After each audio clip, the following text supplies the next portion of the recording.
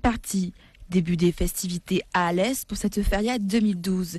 Derniers aménagements, barrières et efforts, toutes les bodegas se mettent en place pour accueillir ce soir un large public festif. Ça y est, top départ. Depuis euh, ce matin, à 8h30, on a commencé à faire les préparatifs. toutes les bodegas sont également à pied d'œuvre. Tout le monde devrait être prêt à commencer cette feria qui, a priori, euh, s'annonce euh, ensoleillée. Cet après-midi déjà, les animations ont commencé.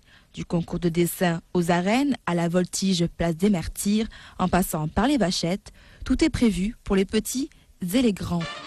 Mais l'un des moments attendus de cette feria, c'est la traditionnelle pégoulade qui marquera le début de cette soirée haute en couleur. On espère que cette année, l'année va être bonne pour la feria et qu'il fera beau, chaud et que les jeunes seront là pour faire la fête. À Privado, Corrida, Paquito et Bodega, attention gardois, soyez prêts pour cinq jours de fête, de tradition et de convivialité.